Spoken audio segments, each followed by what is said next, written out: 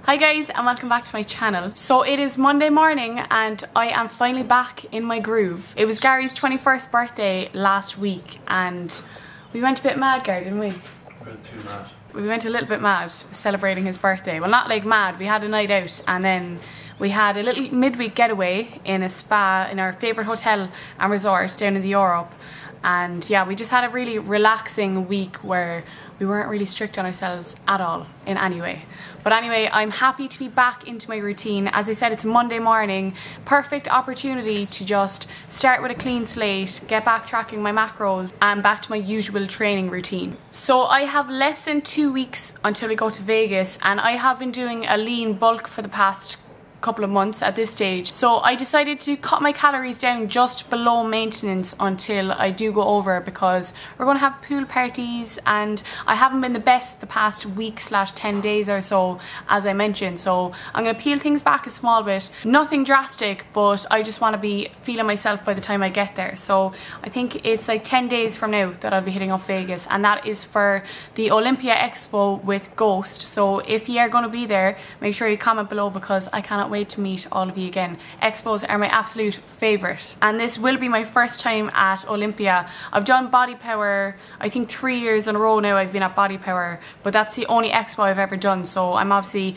really excited for Olympia. It's going to be massive. So I have already been up for a few hours and I haven't had my first meal yet because I've just been tidying and cleaning the apartment. I absolutely love cleaning my apartment on a Monday morning because it just sets me up well for the week. But we're going to go to the shop now, pick up some food and fill these cupboards and get ready for today. In case you're wondering as well, this is not my top. This is Gary's top and I slept in it last night and it's actually back to front and I'm only realising that now. So that's my Monday mood right now. So I just changed my top and my pants. I'm ready to go. I normally would do my food shop in Tesco but the car park was burned down this weekend and the whole like shopping centre is closed and I was actually really lucky because my car was only parked in there like two or three hours before the car park went on fire and it was like the biggest fire ever literally. It was enormous and there's like 60 cars burnt down. So really lucky that we're still here in my lovely car and we're not burnt to dust. But yeah Tesco is closed so I'm gonna head to Aldi instead. And they have most of the things I need anyway so I'm not too worried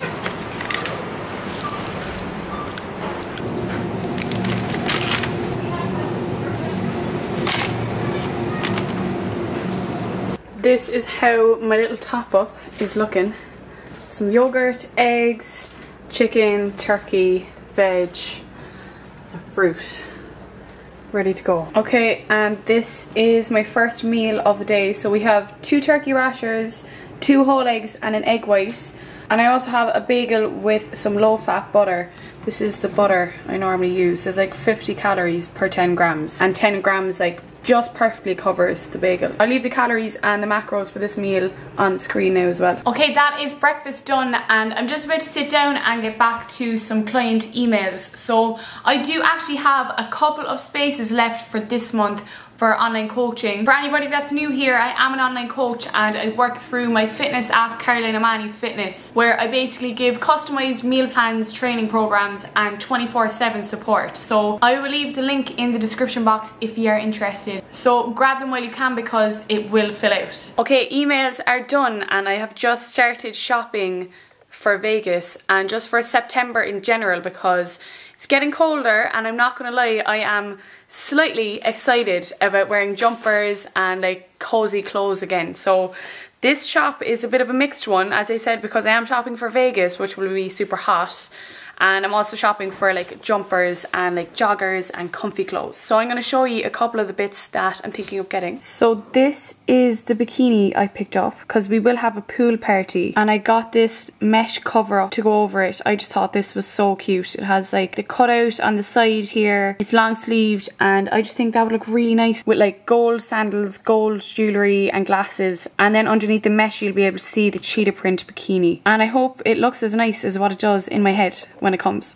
I also picked up these joggers. Can we actually deal? Look how cute these are. I absolutely love the belt. And to go with those joggers, I picked up this little crop top and I just love that kind of style at the moment. I think that will look really, really cute. Okay guys, I was hoping to have my pre-workout meal as a bowl of oats and whey, but it is not looking good for these oats. There is literally nothing left in them. So instead, I'm going to get my carbs from fruit instead. I'm going to have some berries, I'm going to have some yogurt and a banana. And that way at least I'll have lots of more carbs to play with in my post-workout meal. oh my god. Unreal angle, thanks so much. Does it feel being 21? Terrible, I want to be 20 for the rest of my life. He's a big boy now. He actually had the fear all week. Since his birthday, he's like, week. he's had a bad week. Really, really bad week. don't want to talk about it. Yeah, I don't want to talk about it. He's afraid of growing up. I know, I just want to say 20 forever, like. I know, 21 is a good age though. At least we can like drink in America now. We've no worries, like we can do whatever great. we want. but yeah, anyway, I'm having my pre-workout meal looking very, very fruity. I'm having my yogurt, my fruit, and I'm also going to have two bananas because honestly, one just wouldn't cut it. For a heavy leg day, I know I need more carbs than just one banana. I believe this is everybody's worst nightmare when you look into your protein or your BCAAs or your creatine or whatever it is. You can't see the scoop. Oh no, I can't feel it. No, Gary, I don't think there's one in here. Did you steal it? Okay, we're just going to use the scoop from the aminos instead, but I'm just making my intra workout shake, my usual antics. I have a scoop of aminos and I also have the Ghost size, which is creatine. I have this every day in my intra workout shake. And I am also going for sour green apple flavour today. It's my favourite, as you probably know at this stage. Okay, it's gym time. You ready? Leave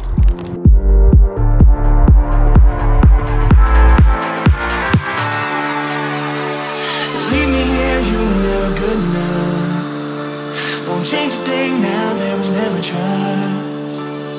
Don't you say a word, cause I've heard it all. You were just pain when you felt it all. Oh. Something tells me that I won't miss it. That we can't fix it. It's irreversible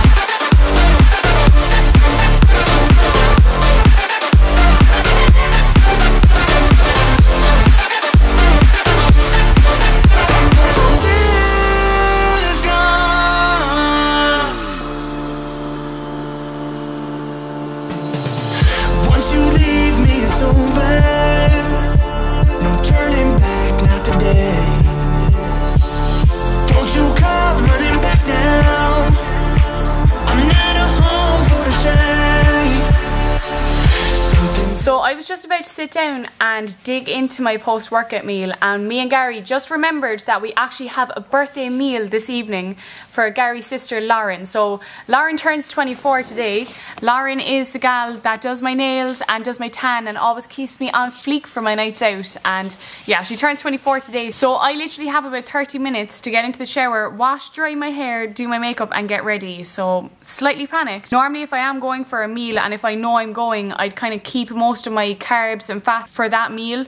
But I've already had two meals today and I can't remember off the top of my head what my macros are looking like. But I know I have over a thousand calories left. So I'm not too bothered and I know they have like good healthy clean options on that menu as well. It's a really really nice restaurant. It's called the Elm Tree. So instead of having my post workout meal I'm going to jump straight in the shower and get ready and have our meal as the post-workout meal instead because I know either way it's going to be a bit more calorie dense than what we expect because let's be real majority of things that we eat in restaurants are deep fried. So going to keep most of my calories for that now. I better get in the shower and start getting ready because we'll be late and I'm always late for everything Literally, my whole life is delayed. But anyway, I'll catch you in a few. Okay, so we are on the way to dinner now. I'm absolutely starving. Neither of us had a post-workout meal, so we're gonna go in here now. I have plenty of calories to play with anyway. I'm on 5,000 calories today.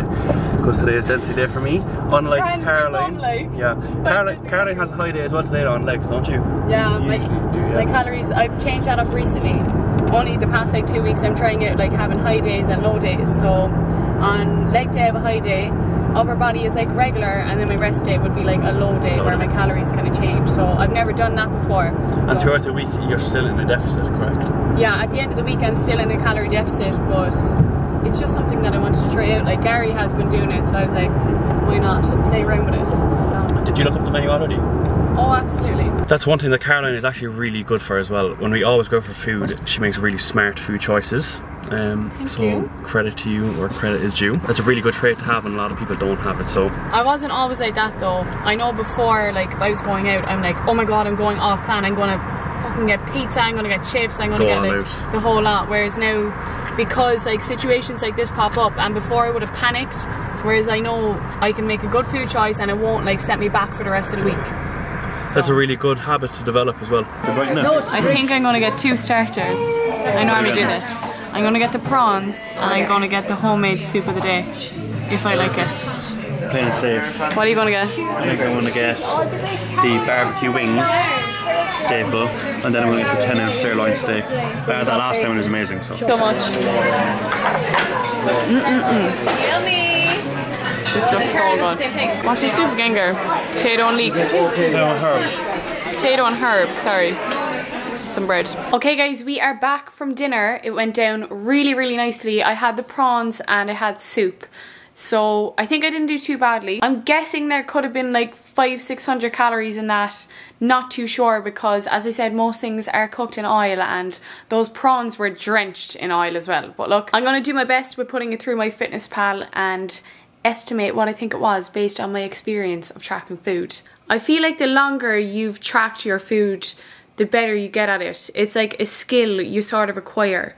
And eventually you'd sort of be able to eye up foods and estimate calories and macros in them. For someone that's never tracked food, that honestly probably sounds so crazy, but it just happens over time. And that's why I always recommend to beginners when you're starting a meal plan or if you're starting in the gym and dieting and you want to figure out what's best for you, I always recommend that for at least a couple of weeks you go, you download MyFitnessPal and you track your food just so you get an idea of the calories and macros in different foods that are around you. And the good thing about that is that you learn about different foods not being as bad as what you thought they were. I remember before I started tracking calories, there would have been certain foods that I would have completely excluded from my diet because I just deemed them bad for me. But as soon as I started tracking and doing if it fits your macros, you realize you can actually really eat anything you want. Not that I recommend just going and eating foods high in saturated fats or like foods with a low micronutrient profile. I would never recommend that, but you get to learn that you can't eat the foods that you once deemed bad for you. That's one thing that I learned when I did start tracking calories. So if you're watching this video and if you're new to the gym and you're new to dieting, then I would definitely recommend it. For a few weeks, track your food, see how you get on. There's honestly a lot you can learn just doing things on your own before reaching out. I just changed into my comfy clothes again, so I have a full Alphalete tracksuit on me. And for the first time in honestly months, I've had to turn on the heating in the apartment. I think it's like 20 degrees in here, which sounds really warm, but like normally it's around 24. But the temperature has really dropped and I'm absolutely freezing. So I turned on the heating, I'm in my cozies and I'm going to have one more meal before I go to bed. It's actually quite late now, it's just gone nine. And I normally don't really eat this late in the evening, but we had unexpected plans, so I don't really mind. Okay guys, this is my final meal. And I know it won't be everybody's cup of tea and it looks absolutely disgusting, but it's honestly really nice. I have pasta, tuna, and lighter than light mayo. And honestly, that meal is the cheapest, most macro friendly meal ever. It's just a bodybuilding meal, I feel. It's just really plain, simple, and just tasty before bed. So we are just about to sit down and watch Power. To be honest, me and Gary just had the chats about Power, and we both came to the agreement that it's actually just not as good as what it used to be. So the agreement was, Power's the biggest of shit ever. Like, it used to be so good before, but It used to be a lot better, like, honestly. Yeah. There was a fight scene in the first episode back, and it was honestly pathetic between Yeah. Ghost and Tommy. They're I, supposed to be rootless killers. I know, and they were like talking to each other while they were fighting. It was like something from Coronation Street. Let me know if you watch Power and what you think of the newest episodes and the new intro. Yuck. Oh my god, yuck. Like 50 Cent, very controversial. Anyway, guys, on that note, I am going to wrap up this vlog here. We're going to chill out for the evening, going to eat my pasta and tuna and have mm. tuna breath for the night with Gary. Unreal. if you're new here, don't forget to like and subscribe, and I'll catch you next time.